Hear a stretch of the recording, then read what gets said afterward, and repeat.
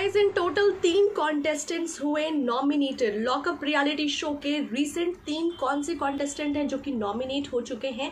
आइए मैं आपको बताऊँगी इस वीडियो में. नमस्कार, मैं स्निग्धा. स्वागत करती हूँ आप सभी का हमारे चैनल पर. आपको बता दूँ कि आपको जानकर हैरानी होगी कि ये तीन कॉन्टेस्टेंट्स नॉमिनेट हो चुके हैं और वो भी मंदना ने अपने पावर कार्ड का इस्तेमाल करते हुए नॉमिनेशंस किए हैं। बेसिकली हुआ यूँ तो आपको बता दूँ कि मंदना यानी कि ऑरेंज टीम ने एरेना टास्क को जीत कर फाइनली पावर्स हासिल किया और मंदना को मिला पावर कार्ड जिसमें पावर कार्ड के इस्तेमाल करने पर मंदना किसी को भी नॉमिनेट यानी चार्जशीट कर सकती थी फ़ाइल उनके खिलाफ। ऐसे में उन्होंने पायल रोहादगी और अजमा फला के खिलाफ चार्जशीट दायर किया। ऐसे में करणवीर बोहरा पहले से नॉमिनेटेड थे। तो, तो इन टोटल आपको बता दूँ कि करणवीर बोहरा पायल रोहानगी और अजमा फला ये तीनों हो चुके हैं नॉमिनेटेड आने वाले हफ़्ते के लिए।